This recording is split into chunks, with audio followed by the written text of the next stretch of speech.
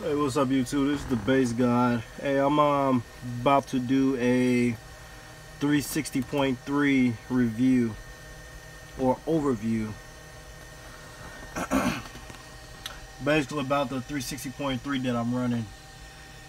As you all know, the 360.3 has to be on a laptop or any type of device that can load onto the system. Alright. Um, the 360.3, it's a uh, 8 channel uh, DSP. Uh, it's a digital signal processor for some of y'all don't that don't know. Um, now, as you see, these are all the uh, inputs on my vehicle. As y'all see back here, where the subwoofers are at. Let me see if I can. All right, right here's my subwoofers. All right, I have my left subs and I have my right subs. All right, right here, these are where my kick panels are at.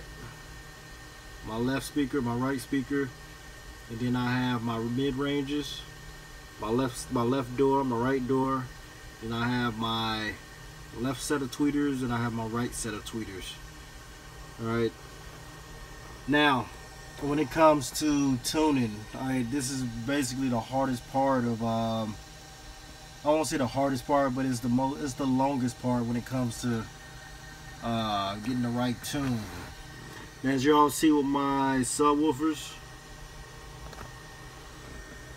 alright, I have a bandpass set using the Butterworth crossover and I got the X-over slope at 24 dB with the X-over high pass filter at 20 hertz and it goes up to uh, 80 hertz alright so if you look at this slope right here uh, it kind of blends in right at 100 hertz. Right around there or it kind of dips down that's where my mids take over at. Well my mids actually take over at 80 hertz but the subwoofer kind of blends in so nothing sounds separated all right? Now if you look at my settings on here I have everything from let me go to this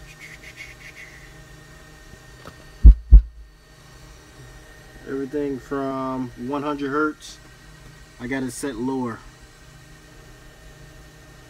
And I got everything else about the same level. I probably might put this up.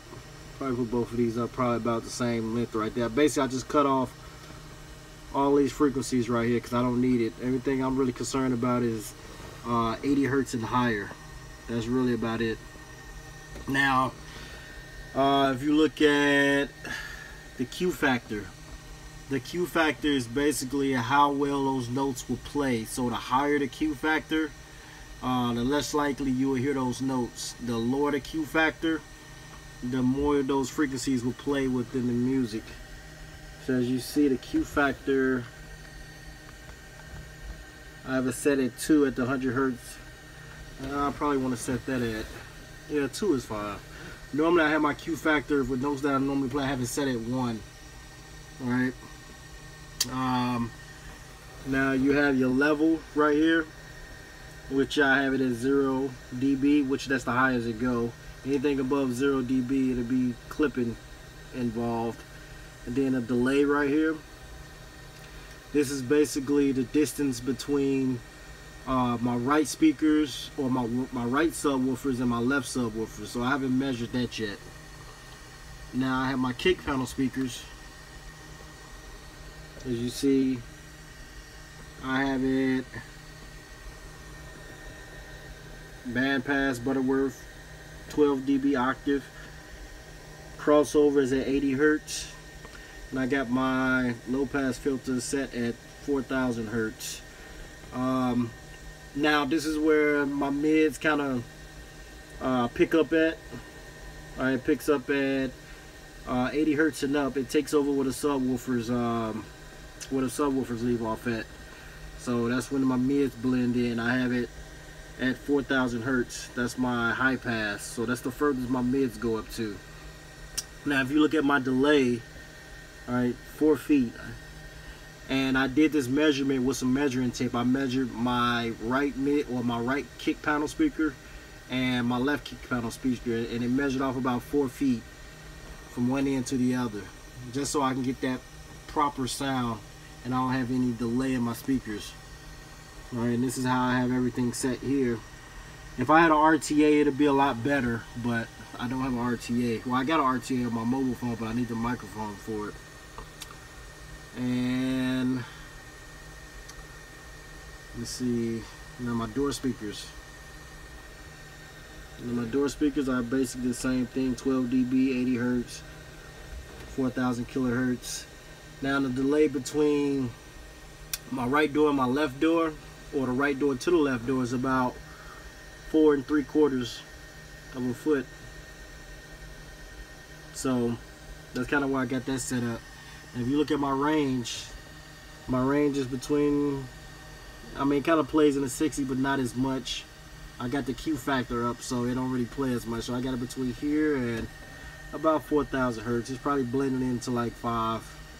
So that's my frequency range right there. And this is where I have my mid ranges playing at. So as you see right there, that's where you hear all those tom-toms and everything else playing. So then right here I have my tweeters.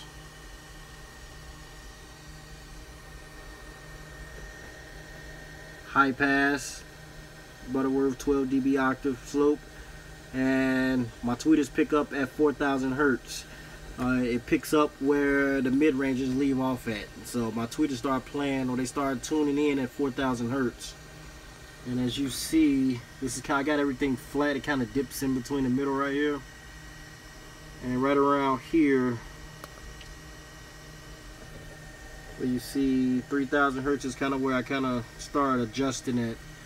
I don't kind of raise my gain. I don't raise my gain up as much. I kind of have it like about 2 dB but this is where the slope is at right here. It kind of picks up right up around here. I don't mess with anything 10,000 hertz or higher or kilohertz or higher.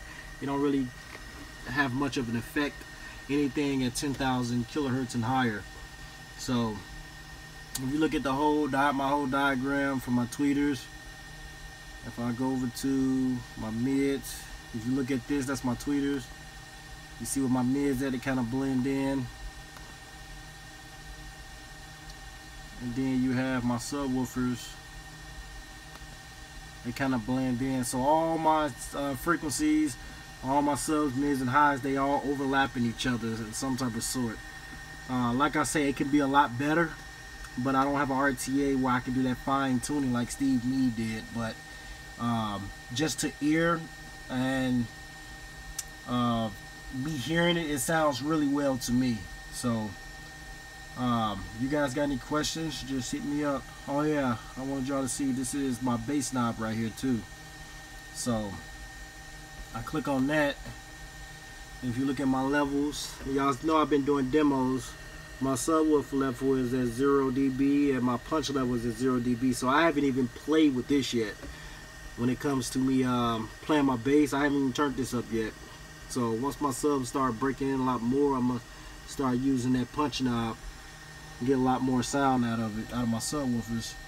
So, but this is a 360.3. I love it. It takes time to fine tune this thing, and like I said, I know I'm not at 100% uh, tuning, but for now it sounds really good. But I know it can sound better if I had an RTA with an actual microphone in my vehicle, getting that fine tuning.